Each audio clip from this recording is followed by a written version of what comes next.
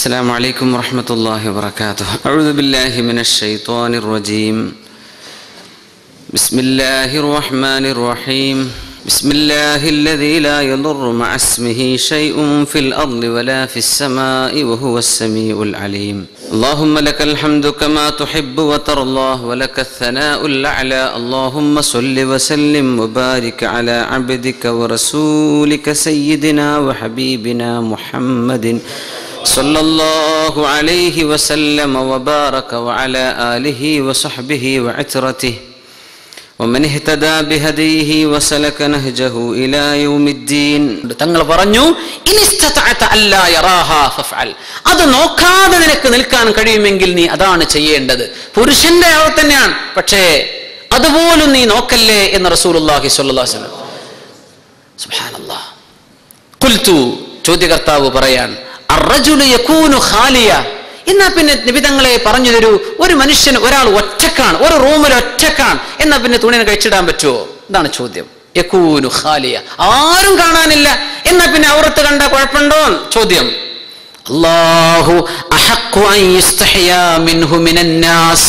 ജനങ്ങളെക്കാളും ലജ്ജിക്കേണ്ടത് നീ അള്ളാഹുവിൽ നിന്നല്ലയോ?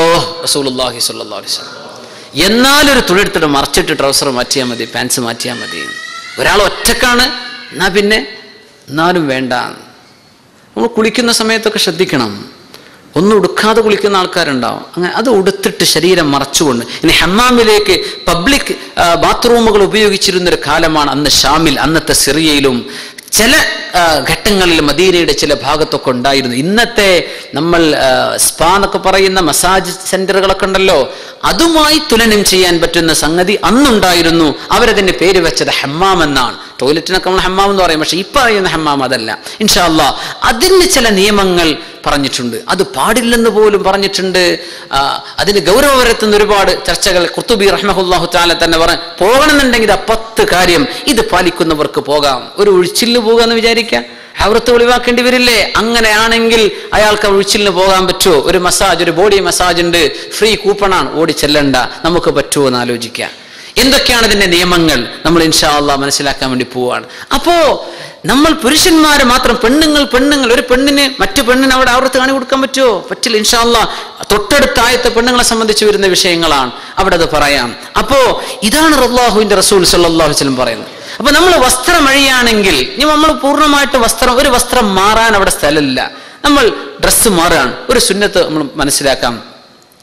നമ്മൾ റസൂലുല്ലാഹി അലൈഹി വസല്ലം പഠിപ്പിക്കുകയാണ്. ഒരു മനുഷ്യന്റെ ഔറത്ത് കണ്ട് വെളിവായി കഴിഞ്ഞാൽ അവിടെ പിശാച്ച് വരും. അവിടെ പിശാച്ച് വരും.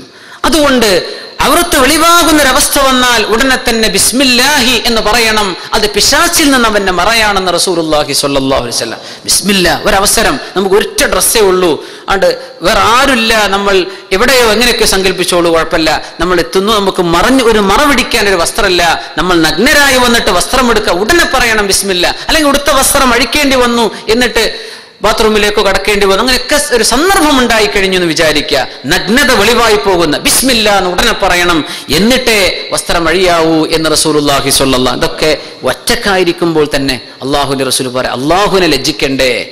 അള്ളാഹുവിനെ ലജ്ജിക്കേണ്ടയോ?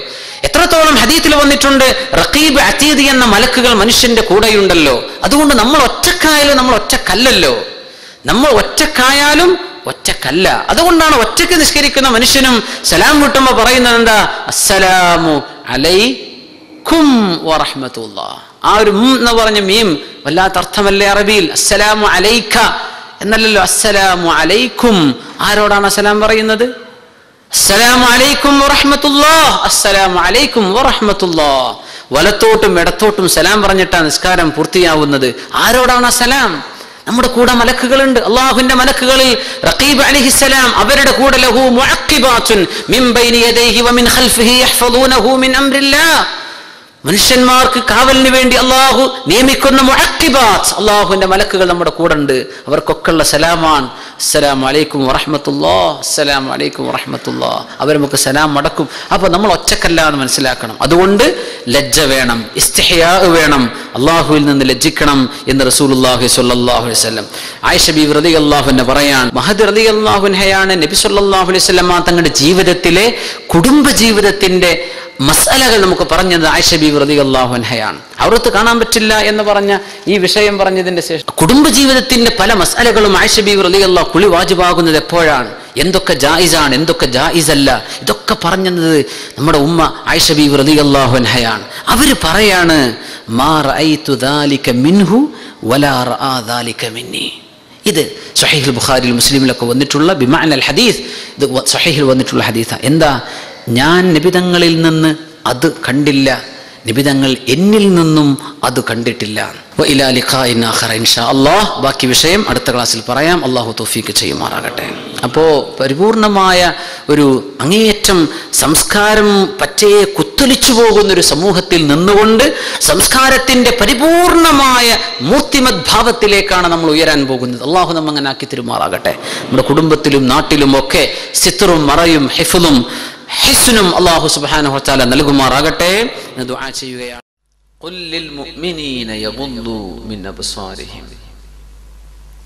നബിയെ അങ്ങ് മുഅ്മിനീങ്ങളോട് പറയണം.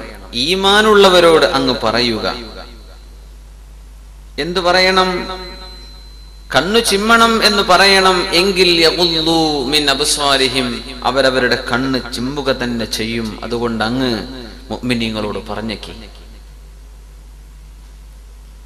റസൂലുല്ലാഹി സ്വല്ലല്ലാഹു അലൈഹി വസല്ലമ തങ്ങൾ അങ്ങനെ നമ്മെ ഉപദേശിച്ചാൽ ആ ഉപദേശം അത് ഏറ്റെടുക്കാൻ മുഅ്മിനീങ്ങൾ ഒരുക്കമാണ്.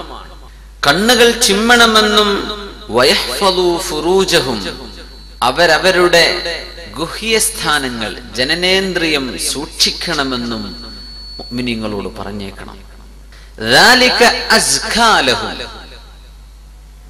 ഇത് അവർക്ക് ഏറ്റവും സംസ്കരണം നൽകുന്ന കാര്യമാണ്. ജക്കാത്ത് എന്ന വാക്കിന്റെ അർത്ഥം പ്യൂരിഫിക്കേഷൻ എന്നാണ്. സംസ്കരിക്കുക എന്നാണ് അതിന്റെ അർത്ഥം. അസ്ഖാലഹു. ഒരു വ്യക്തിയെ സംസ്കരിക്കുക ഒരു മുഗ്മിനായ മനുഷ്യനെ തസ്കിയത്ത് നൽകുക ഇത് റസൂലുള്ളാഹി സ്വല്ലല്ലാഹു അലൈഹി വസല്ലമ തങ്ങളുടെ നിയോഗത്തിന്റെ ലക്ഷ്യമാണ്. യത്ലു അലൈഹിം ആയാതിഹി വയുസക്കീഹിം വയുഅല്ലിമുഹുൽ കിതാബ വൽ ഹിക്മ. റസൂലുള്ളാഹി സ്വല്ലല്ലാഹു അലൈഹി വസല്ലമ തങ്ങളെ അല്ലാഹു ഈ ലോകത്തിന് നിയോഗിച്ചതു തന്നെ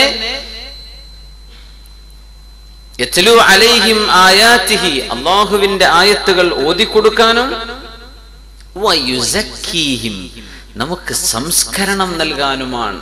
അള്ളാഹുവിന്റെ റസൂൽ സൊല്ലാഹു അലഹി വസ്ല്ലം ഈ ലോകത്തേക്ക് നിയോഗിക്കപ്പെട്ടത്. നമ്മുടെ സംസ്കരണമാണ്.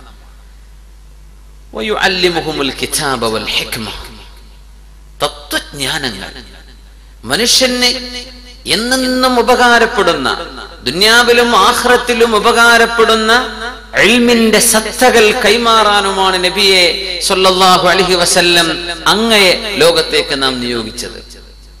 അങ്ങനെ വരുമ്പോ ആ തസ്കിയത്ത് ഓരോരോ വിഷയങ്ങളിലായി റസൂലുള്ളാഹി സ്വല്ലല്ലാഹു അലൈഹി വസല്ലം നമുക്ക് നൽകിക്കൊണ്ടിരിക്കുകയാണ്. അതിന്റെ ഒരു ഭാഗമാണ് ഇവിടെ പറയുന്ന കണ്ണു ചിമ്മണം ഫർജുകളെ സൂക്ഷിക്കുകയും ചെയ്യണം.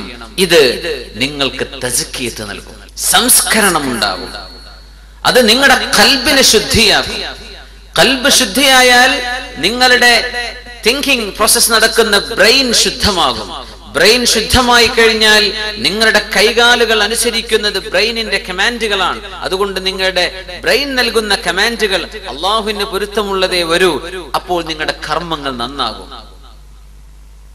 അപ്പൊ കണ്ണു ചിമ്മണം. എവിടെ നിന്നൊക്കെ ചിമ്മണം?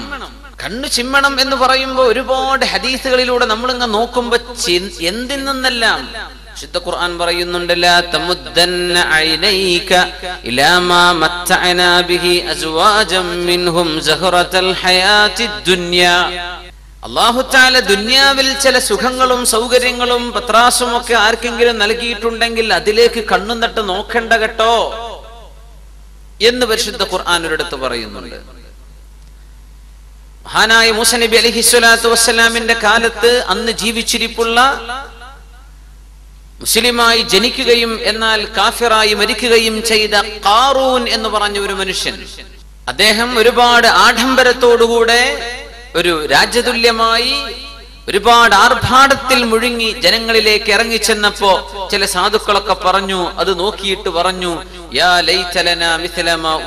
ഖാറൂൻ ഇന്നഹു ലദു വല്ലാത്ത സൗകര്യങ്ങളും എന്തൊക്കെയാ കാറൂനിന്റെ അവസ്ഥ? പ്രച്ചോനെ ഇതൊക്കെ നമുക്കും കിട്ടിയിരുന്നെങ്കിൽ. അപ്പൊ മുഅ്മിനീങ്ങൾ പറഞ്ഞു